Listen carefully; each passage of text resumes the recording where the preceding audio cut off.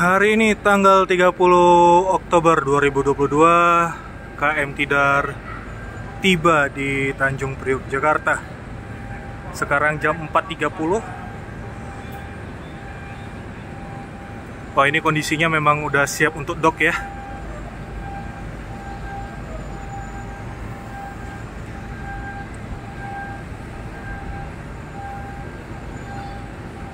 Ini nanti bodinya di sunblast terus nanti kalau ada plat yang udah tipis platnya ada yang diganti.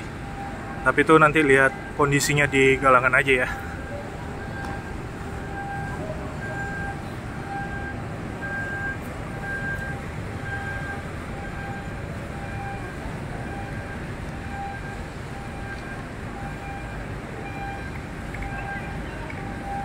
KM Tidar berangkat dari Makassar dengan kecepatan 15 knot. Ini lumayan bagus ya speednya. Dari Makassar hari Jumat jam 1 siang sekarang tiba hari Minggu jam 4.30 lebih cepat 30 menit dari jadwal seharusnya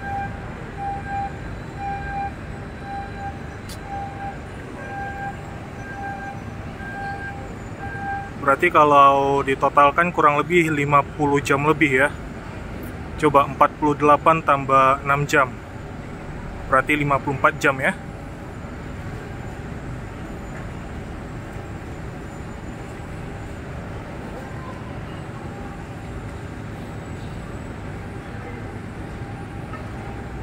Lihat tuh bagian apa dereknya.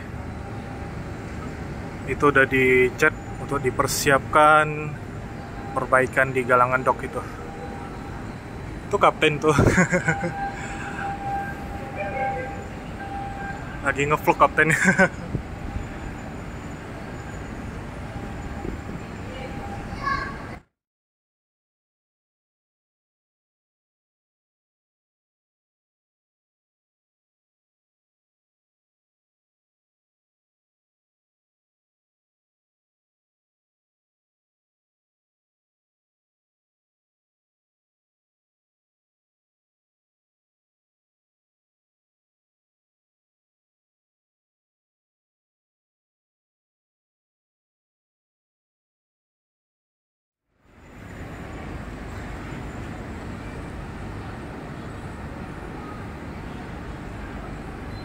Oh ya, ini ini tahun 2022 terakhir Tidar e, berangkat dari Jakarta itu tahun 2013. Berarti kurang lebih 9 tahun sudah Tidar tidak masuk Jakarta. Ya, 9 tahun sudah KM Tidar tidak masuk dan ini kembali sandar untuk masuk ke galangan dok. Wow, lama sekali ya. Dan kita masih ingat video terakhir kita KM Tidar waktu itu pelabuhan Tanjung Priok ini masih dalam perbaikan jadi kondisi pelabuhan itu masih belum seperti ini. Ya kita masih ingat sekali waktu itu tidar sandar di sini, di depan, di belakang ada loser. Ya waktu itu sandar loser. Nanti kita kasih lihat bukti fotonya waktu terakhir kali sandar di Jakarta ya.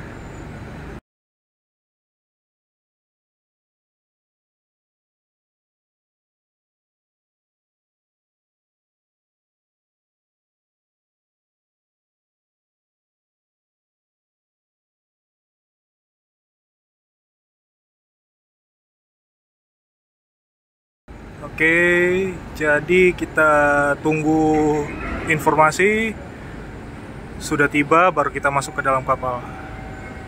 Nah, ini informasinya.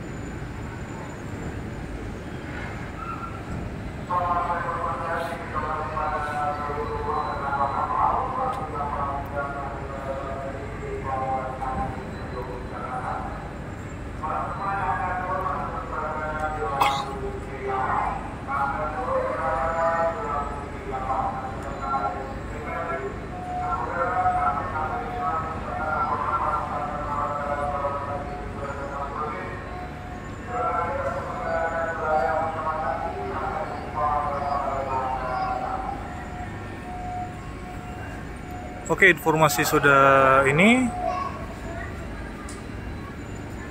Kita ke kapal ya. So here we are, KM Tidar di Jakarta. Wih, udah banyak ini ya uh, tiram-tiramnya ya.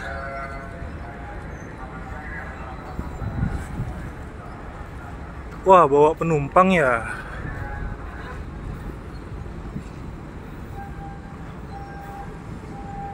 Wah, KM Tidar bawa penumpang ya dari Makassar. Keren.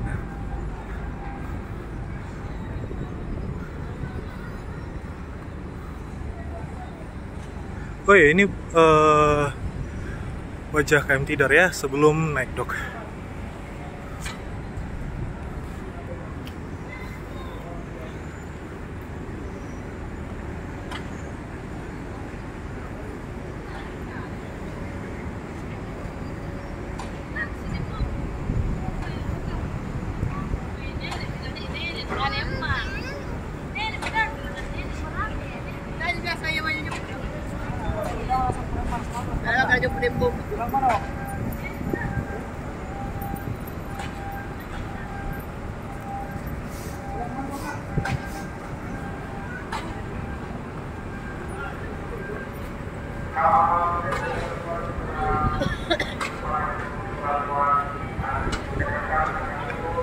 Lagi buang sampah itu